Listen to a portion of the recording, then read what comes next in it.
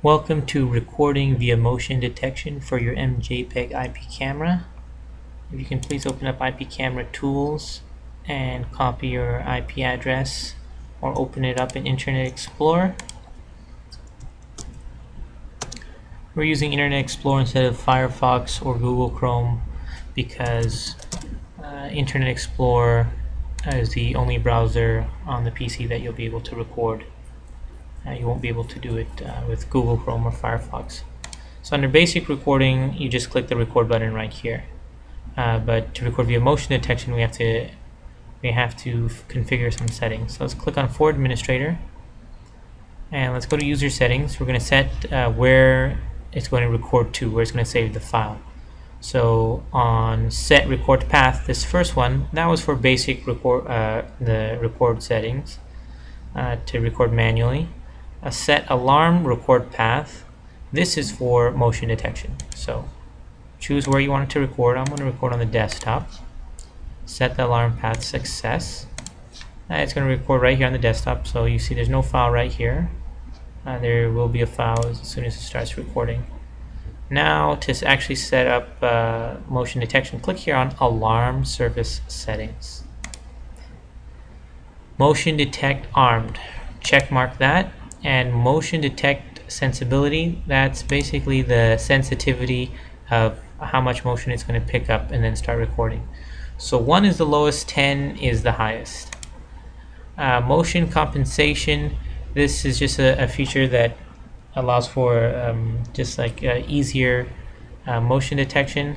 Send mail on alarm upload image on alarm. This is for the email settings to send snapshot pictures for the email and scheduler. You can see it's here, it's here Sunday through Saturday uh, and this is uh, 12 a.m. to 1 a.m. this is on military time. You can pick and choose when exactly it is that you want to record. Okay. So the main thing is that you check mark motion detect arm. That's check mark. We're going to submit. Okay let's go back. Let's look at the camera and you'll know when it's recording because uh, this this light here is green. When it's flashing red then green. Then red then green uh, it'll be recording. So I'm gonna put uh, if even if it's on 10 settings uh, sensitivity 10 or sensitivity 1 uh, it won't record if you move the camera around. So it doesn't matter what sensitivity it's on. I'm gonna go ahead and move my hand here and just leave it there for a while okay so here it's recording.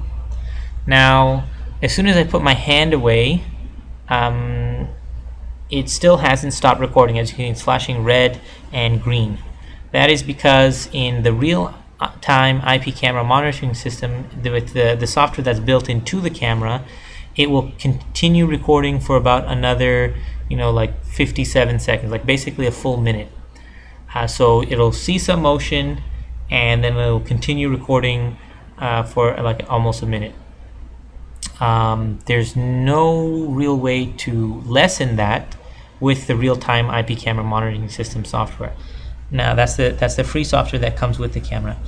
Uh, if you get a third-party software such as Blue Iris, um, you you can uh, lessen the amount of time to like 5 seconds or 4 seconds or 3 seconds or 6 seconds or 20 seconds or whatever it is.